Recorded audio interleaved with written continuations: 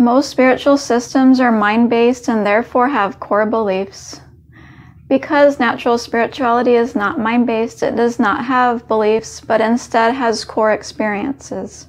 In this short video, I'll be introducing you to those experiences. If you like this content and would like to see this channel grow, be sure to subscribe and like videos, as these actions help YouTube's algorithm make this channel's content available to a larger audience. Without further ado, here are the core experiences of natural spirituality. Core experience number one flow.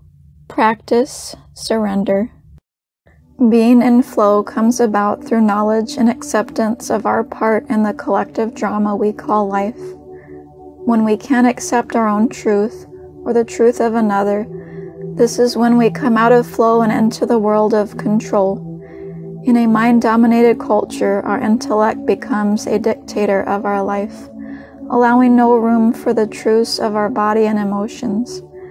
Acceptance of our total truth brings us into flow, while denial and avoidance of things like our emotional reality fragments us and turns us into tyrants instead of co creators with life. Core experience number two naturalness, practice, presence.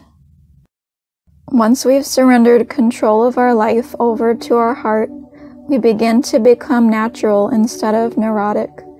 In learning to be present to the truths found in our body and its sensations, we no longer fracture ourself by being at war with ourself. We learn how to be okay with our creaturehood.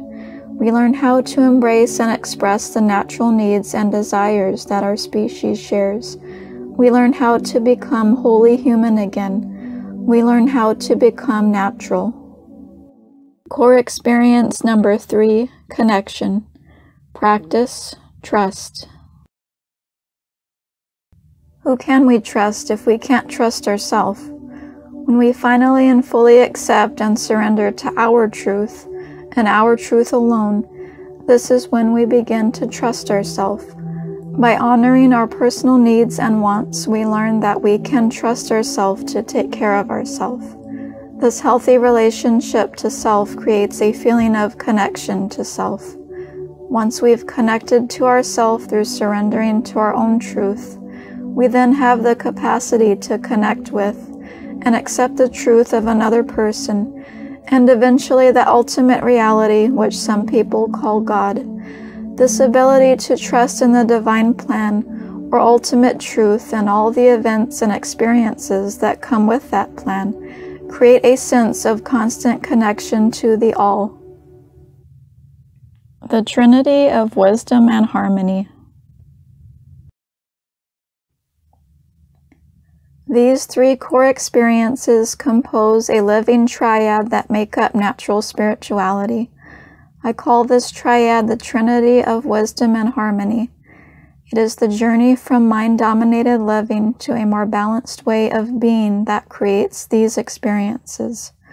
When our body and spirit are allowed equal say with our mind, this is when we become integrated and come into balance.